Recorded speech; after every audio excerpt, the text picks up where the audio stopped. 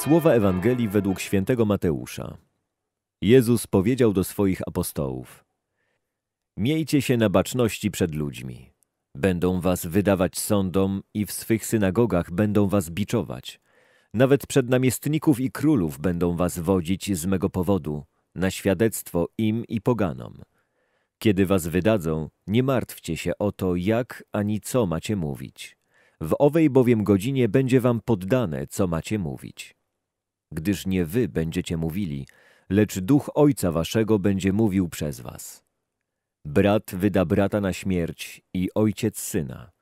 Dzieci powstaną przeciw rodzicom i o śmierć ich przyprawią.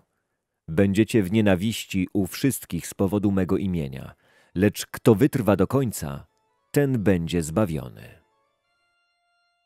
Błogą atmosferę świąt Narodzenia Pańskiego nagle przerywa męczeństwo świętego Szczepana. W drugi dzień świąt słuchamy Ewangelii o prześladowaniach uczniów Chrystusa. A przecież nie nacieszyliśmy się jeszcze świątecznym klimatem i nowonarodzonym dzieciątkiem.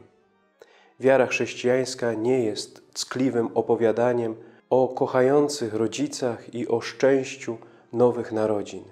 Dobra nowina to życie, które jest zmaganiem i walką i którego nieodłącznym elementem jest śmierć, czasami nawet męczeństwo. Chrystus, i o tym nie wolno nam zapomnieć, przychodzi na świat po to, aby nas zbawić.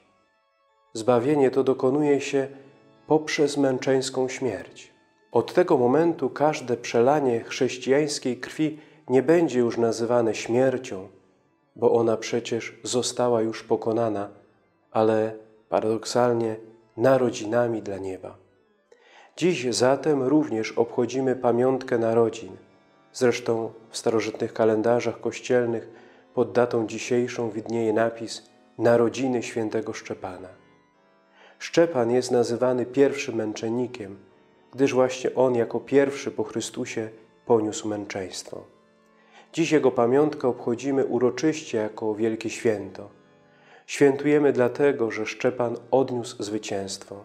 Kto wytrwa do końca, ten będzie zbawiony. Diakon Szczepan wytrwał przy Chrystusie do końca, dlatego osiągnął zwycięstwo, a jego śmierć jest powodem do chluby i radości.